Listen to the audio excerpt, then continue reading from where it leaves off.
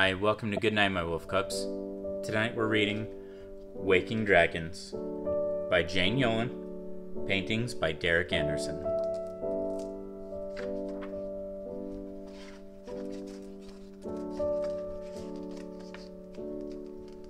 Dragons, wake up.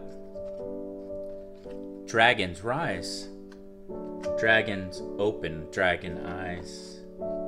Dragons blink, dragons bumble. Dragons leap, dragons tumble out of bed.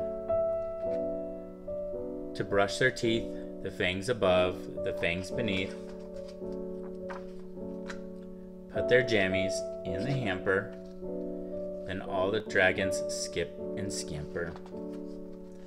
Down the hall on four big feet to the kitchen, there to eat. Breakfast waffles topped with syrup, which make dragons really tear up.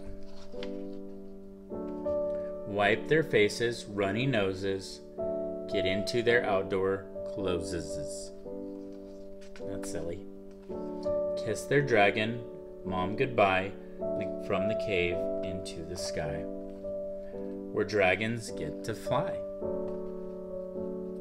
and fly and fly. The end. Good night, Alexis. Good night, Elisha. Good night, Edison. I love you all so much.